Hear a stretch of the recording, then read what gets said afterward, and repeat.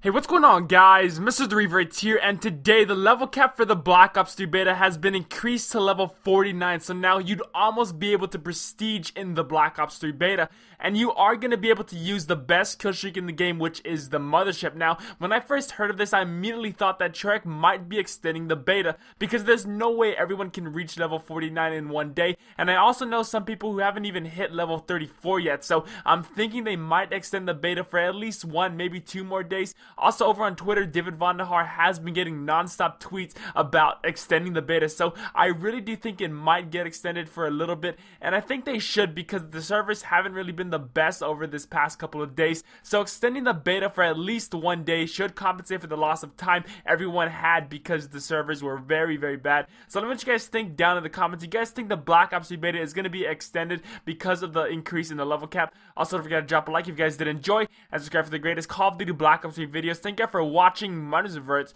Hope you guys have a great rest of the day. Till next time, I'll catch y'all later.